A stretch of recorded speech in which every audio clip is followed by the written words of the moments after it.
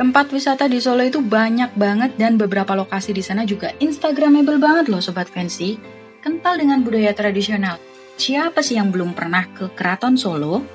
Buat yang belum pernah ke tempat wisata di Solo, yuk simak terus YouTube Travel Fancy Indonesia.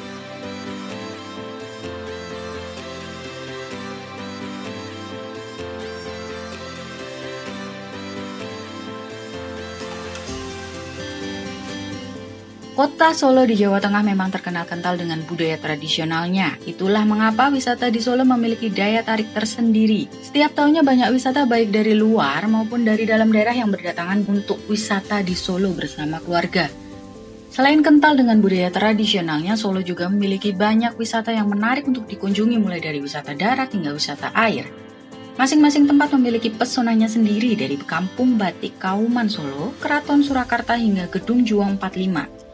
Jangan lupakan kuliner Solo yang melegenda dan bermacam-macam seperti Timlo Solo, Tengkleng Solo hingga gudeg ceker Margoyu dan Solo.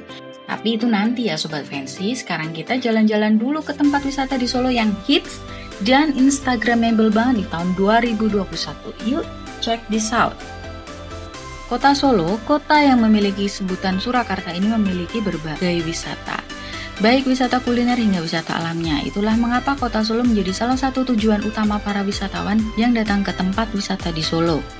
Waktu yang sangat cocok untuk menikmati keindahan tempat wisata di Solo adalah pada waktu liburan tiba. Nah, berikut ini beberapa lokasi tempat wisata di Solo yang wajib kamu datangi ya. Keraton Solo Keraton Solo atau yang juga disebut dengan Keraton Surakarta Hadiningrat adalah istana resmi Kasunanan Surakarta. Keraton Surakarta ini didirikan oleh Susuhunan Pakubuwana II pada tahun 1744 sebagai pengganti istana atau Keraton Kartasura yang porak-poranda akibat geger pecinan pada tahun 1743. Kompleks bangunan Keraton Solo ini masih berfungsi sebagai tempat tinggal Sri Sunan dan rumah tangga istananya yang masih menjalankan tradisi kerajaan hingga saat ini. Keraton Surakarta juga merupakan salah satu objek tempat wisata di Solo. Sebagian kompleks Keraton Surakarta merupakan museum yang menyimpan berbagai koleksi milik Kasunanan termasuk berbagai pemberian dari raja-raja Eropa, replika pusaka keraton, dan gamelan. Dari segi bangunannya, Keraton Surakarta ini merupakan contoh arsitektur istana Jawa tradisional yang terbaik. Di Keraton Solo ini, Sobat Fancy bakal menjumpai berbagai koleksi bersejarah seperti kereta kencana, senjata tradisional, hingga wayang kulit.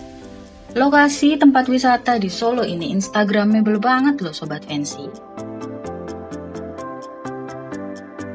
Pasar Gede Solo kalau pergi ke tempat wisata di Solo, wajib mampir ke Pasar Gede Solo ini.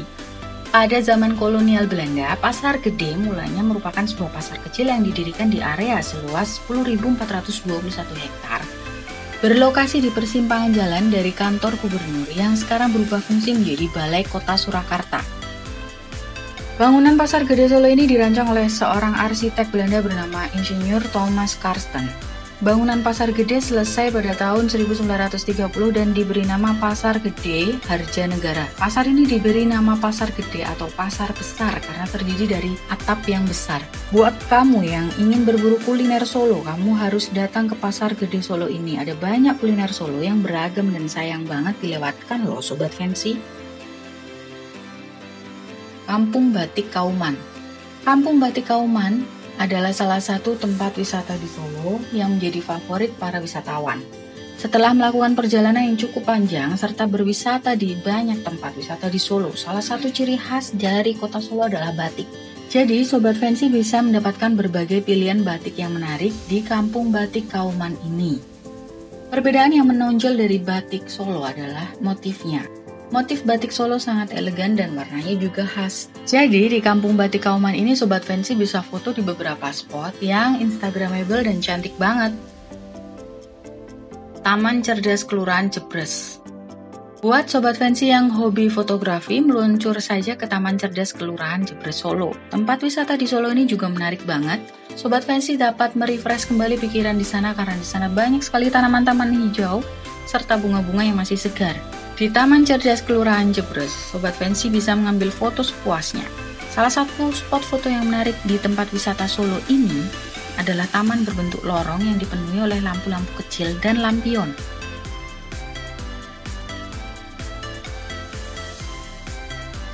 Taman Hutan Raya Ngargoyoso Salah satu tempat wisata di Solo yang mengajak pengunjungnya untuk lebih dekat dengan alam adalah Tahura atau Taman Hutan Raya.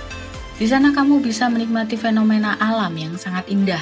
Tidak hanya itu, Sobat Fancy juga akan disuguhkan oleh beberapa objek wisata yang tidak kalah keren seperti air terjun Parang Ijo, Candi Suku, hingga kandang rusa. Gedung Juang 45 Gedung Juang 45 menjadi salah satu lokasi wisata baru di kota Solo yang menjadi favorit milenial karena Instagramable. Gedung Juang 45 berlokasi di Jalan Mayor Sunario, Gedung Lumbu, Kecamatan Pasar Kliwon, Kota Surakarta. Soft opening Gedung Juang 45 dilakukan pada 20 September 2019 dan dipenuhi pengunjung yang antusias mengabadikan momen di lokasi ini. Penerangan yang temaram berpadu bangunan lawas bercorak Eropa memberikan kesan eksotis Gedung Juang 45. Meski terkesan kekinian, Gedung Juang 45 juga merupakan bangunan lawas yang direvitalisasi. Gedung Juang 45 ini berdiri tahun 1880 di zaman Belanda. Meski Gedung Juang 45 terlihat modern, bangunannya merupakan cagar budaya yang dilindungi. Ke depan, Gedung 45 juga akan dijadikan lokasi penyelenggaraan berbagai event dan menyediakan fasilitas ruang kerja bersama atau co-working space. Gedung Juang 45 dulunya juga merupakan bagian dari tata kota Belanda yang ada di Solo. Sebagai bagian dari fasilitas penunjang dari orang-orang Eropa, Gedung Juang 45 juga difungsikan sebagai kantin yang digunakan untuk makan para tentara. Saat itu sebagai kantin, Gedung Juang 45 sekitar pertengahan abad 19. Sedangkan sekitar abad 20, Gedung Juang 45 digunakan sebagai asrama. Nah, kalau sudah berwisata di Solo, jangan lupa makan kuliner Solo yang legendaris juga ya Sobat Pensi. Ada banyak banget loh pilihan kuliner wisata di Solo. Beberapa wisata kuliner yang terkenal adalah Selat Baklis, Timlo Solo, Tengkleng Solo, dan Gudeg Ceker Margoyudan Solo. Mencicipi makanan Solo di warung Selat Baklis bukan cuma soal perut kenyang. Uniknya, warung Selat Baklis terletak di sebuah gang yang tersembunyi tepatnya di Jalan Veteran Gang 2 nomor 42 Serengan, Kota Solo. Warung makan itu berada di area pemukiman dan boleh dibilang warung selat Mbak Li selalu padat saat makan siang sekitar pukul 12 siang hingga pukul 4 sore. Buat sobat fancy yang akan wisata kuliner di Solo untuk menghindari keramaian datanglah sebelum atau sesudah jam tersebut. Apalagi pada hari Jumat, Sabtu, dan Minggu maupun saat musim liburan. Jangan khawatir, warung selat Mbak Lis buka setiap hari mulai pukul 8 pagi sampai pukul 6 sore. Selain menyajikan makanan enak, pelayan-pelayan di warung selat Mbak Lis menggunakan busana ala Belanda dan Jawa yang berganti-ganti setiap harinya.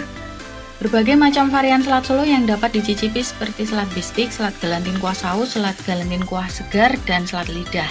Nah, selain selat Mbak Lis, jangan lupa cicipi gudeg khas Solo ya, karena gudeg Solo ini beda banget loh sama gudeg Jogja. Gudeg Ceker Margoyo Solo ini adalah hidangan gudeg sejak tahun 1932.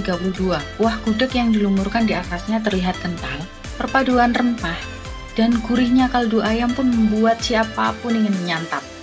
Sambal krecek gudeg ceker Margoyo Solo berwarna coklat kehitaman dengan cabai rawit segar yang utuh dan baru saja ditabur. Aduh, jadi lapar nih. Gimana? Udah siap berlibur ke tempat wisata di Solo dan berburu kuliner Solo? Jangan lupa subscribe YouTube Travel Fans Indonesia biar kamu update terus ya.